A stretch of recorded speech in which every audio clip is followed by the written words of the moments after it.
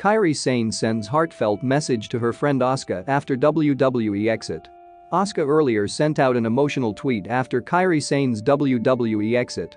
Kairi Sane made her last WWE appearance this past week on Raw. Hello guys, how are you all? I am here again with a heartfelt story. Hope you guys will like the video.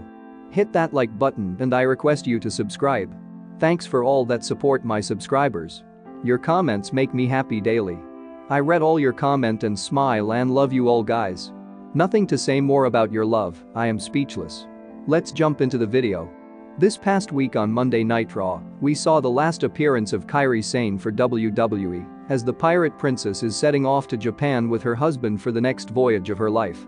During her time with WWE, Kairi Sane became very close friends with former Raw Women's Champion Asuka.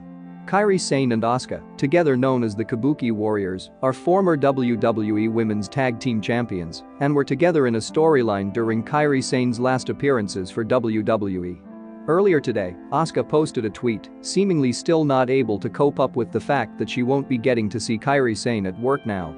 Now Kairi Sane replied to Asuka's tweet and sent a heartfelt message to her friend, telling her that, my heart is always with you.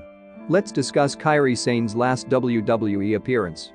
This week on Raw, Asuka took on Sasha Banks to determine the real Raw Women's Champion after a confusing ending to their match at WWE Extreme Rules.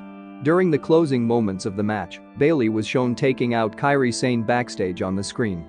Among the choice of continuing her title match or saving her friend, Asuka chose the latter and ran backstage. Unfortunately, this led to her getting counted out, and hence Sasha Banks was crowned the Raw Women's Champion. Shortly after Raw, Kairi Sane sent out a message on her Twitter, confirming that it was her last appearance for WWE. WWE fans have since been thanking her for all the great memories and also wishing her success in her future endeavors.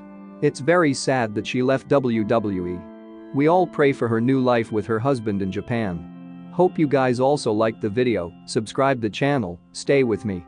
I need you guys. Love you all. See you in the next one. Peace out.